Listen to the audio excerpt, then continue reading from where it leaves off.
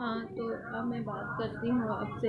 तो फिर मैंने इनसे कहा चलिए मैं इलाहाबाद मुझको दिखा लाइए। क्योंकि मेरी जो है दो साल पहले ही आ, मुझे ए, मेरी सांस जो है गिर गई थी। तो मेरे घुटने में काफ़ी मतलब उस समय दर्द महसूस हुआ था क्योंकि आ, मैं काफ़ी उस समय काम हो जा रहा था घर में झाड़ू पोछा बर्तन खाना बनाना। तो मेरे ये दाहिने घुटने में जो है अचानक से क्योंकि घंटों खड़े रह करके खाना बनाते थे तो ये मेरे घुटने में काफ़ी ज़ोर पड़ा भार पड़ा।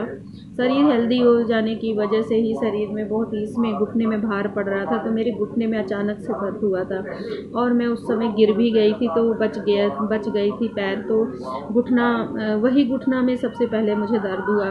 फिर मैं इलाहाबाद गई तो डॉक्टर ने चेकअप वगैरह, जाँच वगैरह कराया था तो मेरा उसमें ए एन ए पॉजिटिव आया था।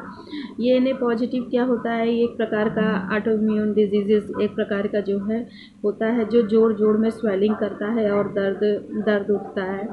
तो फिर डॉक्टर ने मेडिसिन वगैरह दी थी, पंद्रह दिन की दी, मैंने खाया और मुझे काफ़ी मतलब उससे रिलीफ हो गया था, आराम हो गया था। देखिए मैं कितना पहनी हूँ फिर भी मतलब ठंड इतना ज़्यादा असर कर रही है मुझे कि मैं क्या बताऊँ। फिर मैं लेके आई दवा, मैं पंद्रह दिन खाई। पंद्रह दिन के बाद मुझे काफ़ी आराम हो गया।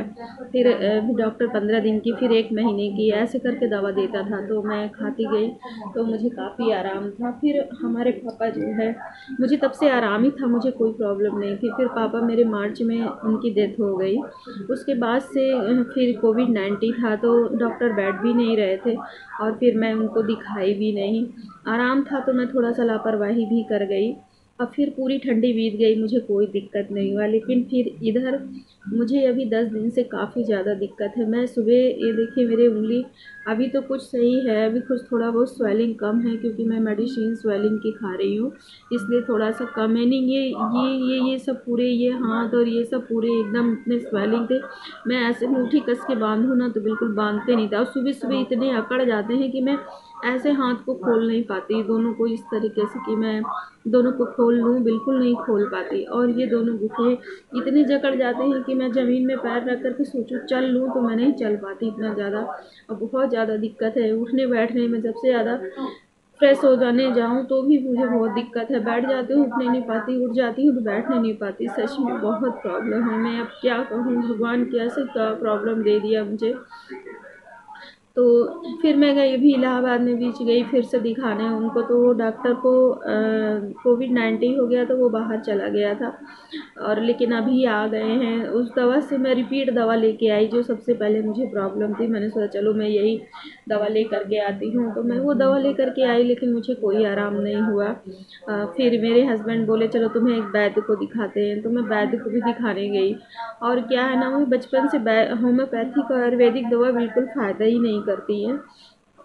तो मिल ही करके तो आई, लेकिन मुझे कोई आराम नहीं, क्योंकि मुझे अभी इस समय तकलीफ़ ज़्यादा है, इसलिए इससे कोई प्रॉब्लम नहीं, कोई आराम ही नहीं है मुझे। दिन भर पुड़िया बनाते बीत जाता है, मेरे को बहुत गुस्सा लग रही थी मैंने फिर खाना बंद कर दिया कल से। तो ये फिर कल उन्हीं डॉक्टर से इन्होंने बात किया फिर मुझसे भी बात हुई डॉक्टर साहब से तो मैंने कहा, डॉक्टर साहब, मुझे इस समय बहुत दिक्कत है, सुबह मैं जकड़ जा रही हूँ, बिल्कुल उठ नहीं पा रही हूँ। तो आप कोई मेडिसिन बता दीजिए जिससे मैं खा लूँ थोड़ा सा आराम हो। तो उन्होंने कहा, नहीं, हम जब तक देखेंगे नहीं, हम कोई दवा नहीं लिखेंगे। तो कल हम जाएँगे दिखाने। और फिर ये एक पेन किलर है, कुछ थोड़ा हाई पावर की है, फिर इन्होंने कल से मुझे दिया है। तो दर्द तो आराम है, दर्द नहीं है, लेकिन जकड़न उसी तरह है जैसे पूरा घुटवा खुलता नहीं है कि मैं खुल करके पैर उठा करके चलूँ तो उस तरह से खुला नहीं है। हाँ दर्द में, पेन में, आराम है फिर दिन भर आराम था मुझे, रात में फिर मैंने डेढ़ बजे फिर से खा ली वो पेन किलर, क्योंकि बहुत ज़्यादा दर्द था। और पूरी रात में इधर से उधर इतना जकड़ता, ज़रा सा हिल जाता, कोई चीज़ उठाने की ना इस तरह से ताकत नहीं पड़ती है कि कोई चीज़ मैं उठा लूँ इस तरीके से। ऐसे लगता है जैसे कोई बली नहीं लग रहा हो। तो सच में बहुत प्रॉब्लम है। सबसे बड़ी सुबह सुबह दिक्कत हो जा रही है मेरे हस्बैंड खाना उनको नहीं बना पाती हूँ मैं। और सच में मुझे बिल्कुल से रोना आ जा रहा है कि मैं ये क्या हो गया, मुझे कुछ समझ में नहीं आता कि पता नहीं। तो उसके बाद आज किसी तरह पेन आज मैं लगभग चार बजे उठ गई हूँ। मुझे नींद नहीं आ रही थी। फिर उसके बाद क्योंकि इतना ज़्यादा तकलीफ़ थी, फिर ये कहा ऐसा दवा खा लो तुम। तो फिर मैं दवा खाई, उठी। फिर खाना बनाई हूँ इनके लिए किसी तरह फिर ये आ गए तो कहते क्यों परेशान हो रहने दो? मैंने कहा, नहीं, बनाने दो यार, लेटे भी तो नहीं रहा जाता। है और इस समय ठंडी इतनी ज़्यादा है ना, ठंड की वजह से मुझे और क्योंकि बचपन में मुझे ठंड से बहुत ज़्यादा एलर्जी थी, मुझे ठंडी बहुत नुकसान करती थी। तो ठंड भी इतनी ज़्यादा है, कुछ तो मुझे ठंडी भी बहुत ज़्यादा जकड़ रही है और कुछ तो ये प्रॉब्लम है ही जोड़ जोड़ वाले दिक्कत हो जा रहे हैं जो। और अभी दो साल से मुझे बिल्कुल आराम था, कोई प्रॉब्लम थी ही नहीं, एकदम से ठीक ठाक थी। और इधर में वेट कम करने के लिए भी काफ़ी मतलब चक्कर में पड़ी। पर पता है क्या है, ये ये शरीर सब मेरी फूली है। शरीर में कोई ताकत नहीं है कि जिसको कहते ताकत होते हैं ना, वो चीज़ नहीं है। ये सब फूला है, पूरा शरीर जो है। फिर उसके बाद ये चले गए। फिर मैंने किसी तरह हिम्मत करके पोहा बनाई और चाय बनाई। अपने बेटे को दिया, मैं भी खाई। अभी मैंने दवा खाई है, नाश्ते वाली जो है। और अभी मैं रोटी नहीं बनाई हूँ, कपड़े पे बर्तन झाड़ू पोछा के लिए मैंने लगवा लिया है एक, ठंडी भर वो कर दे घर में काम। तो आती है सुबह वो ठंड में अपना बर्तन झाड़ू पोछा करके चली जाती है, शाम को भी आती है। अब क्या करें, कल जाना है मुझे इसलिए मैं इधर कुछ भी वीडियो नहीं बना पा रही हूँ। मैंने सोचा चलो मैं आज आप लोगों से बात कर लेती हूँ, बता देती हूँ। तो मैं कोई वीडियो नहीं बना रही, क्योंकि मन ही नहीं लगता, तबीयत नहीं ठीक है तो कुछ भी काम मैं मोबाइल आज यूट्यूब वगैरह इतने दिन हो गया मुझे इसको चलाए, मैं कुछ भी नहीं, केवल मम्मी का फ़ोन आता है, वो रिसीव कर लेती हूँ। और बाकी कुछ नहीं, मन ही नहीं करता है सारा दिन चौबीसों घंटा बस अपने तबीयत में दिमाग रहता है कि क्या बताएँ। और डॉक्टर ने बादी वाली चीज़ें खाने के लिए मना कर दिया है चावल, बैगन, गोभी, मटर और भिंडी, जो भी बादी वाला दही, मट्ठा। तो इधर मैं नवरात्र व्रत भी थी तो दही वही काफ़ी खाई, इधर बीच में भी खाई हूँ। तो इस हो सकता है ठंड है ज़्यादा तो वही सब और नुकसान कर रहा हूँ। लेकिन अब देखिए कल डॉक्टर को दिखाएँगे तो डॉक्टर बताएगा कि क्या से, फिर से कैसे दिक्कत हो गई। तो ठीक है, मैं जो कुछ पिछला वीडियो रखा है तो वही आप लोगों को अपलोड कर दूँगी तो आप लोग देख लीजिएगा। और आप लोग भी वो करिए कि मैं ठीक हो जाऊँ, ताकि आगे की वीडियो में बना सकूँ। और नहीं तो पता नहीं, इतना ज़्यादा समझ लीजिए, ऐसे घर फैला है, ऐसा नहीं, हम औरतें हैं ना, तबीयत ख़राब भी रहती है तो भी लगता है, देखो ये चीज़ फैला, वो चीज़। कल मैंने पेन किलर खाया दवा, फिर कुछ दर्द ठीक हो गया तो इधर उधर जो भी काम पड़ा था, मैं उसको करके फुर्सत कर दी, बल्कि ये चिल्ला रहे थे क्यों कर मैंने कहा, नहीं यार, अभी दर्द कुछ कम है तो काम कर लेने दो। और फैला अच्छा नहीं लगता है सच में इस समय बिल्कुल अस्त व्यस्त है पूरा घर। क्या करूँ, क्या ना करूँ, कुछ समझ में नहीं आता है। चलिए ठीक है, रखते हैं। मैं अपने सास ससुर को रोटी बना देती हूँ। अभी वो भी खाना नहीं खाए हैं, सुबह वही नाश्ता वगैरह किए हैं बस। और आज बिल्कुल धूप नहीं निकली है, मौसम बिल्कुल ख़राब है। बहुत ज़्यादा गलन है, ठंडी बहुत ज़्यादा है।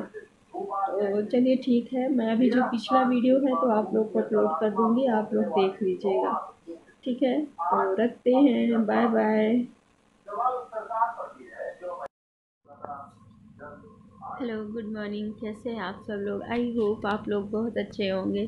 पर इधर मेरा अभी कोई वीडियो नहीं आया क्योंकि मेरी इधर तबीयत ठीक नहीं चल रही है। दस दिन से मैं बहुत ज़्यादा परेशान हो गई हूँ। पता नहीं क्या मुझे अचानक से हो गया। अभी तो मैं बिल्कुल ठीक ठाक थी जो है। और इधर दस दिन से रात में एक दिन अचानक से जो है मुझे पूरे पैर में इतना ज़्यादा मेरे को दर्द हुआ और फिर सवेरे इतनी ज़्यादा मेरे ये घुटने दोनों जकड़ गए। ये उंगली वगैरह में बहुत ज़्यादा, ये देखिए स्वेलिंग अभी तो थोड़ा बहुत सूजन कम हो गई है। नहीं, इतना ज़्यादा हाथों में स्वेलिंग था, दोनों हाथों में बहुत ज़्यादा स्वेलिंग था। मैं इस तरीके से बिल्कुल, ना तो मैं मुट्ठी बाँध पा रही थी, ना ये पूरा एकदम खोल पा रही थी। फिर बहुत ज़्यादा समझ लीजिए मैं क्या बताऊँ, मैं इतना रो, बिल्कुल जैसे रोने लग रही थी। और अब क्या कहूँ मैंने कहा, भगवान, मुझे क्या हो गया? मेरे कुछ समझ में नहीं आ रहा था जो है। तो फिर मैं इनसे बोली तो ये कहें, चलो मैं इलाहाबाद दिखा देता हूँ। तो फिर मैं, एक मिनट में इसको सही हेलो गुड आफ्टरनून। कैसे हैं आप सब लोग? आई होप आप लोग बहुत अच्छे होंगे।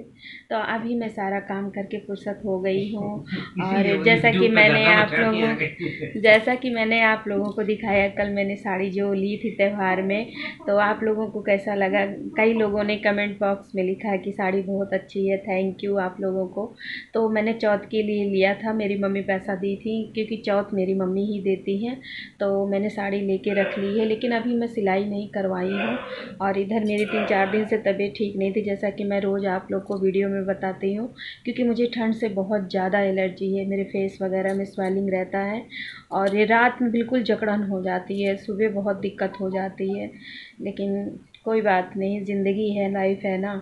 इतने थोड़े बोड़े अगर कष्ट को अगर देखते रहेंगे तो फिर कैसे ज़िंदगी चलेगी, ये लाइफ तो ऐसे चलेगी नहीं।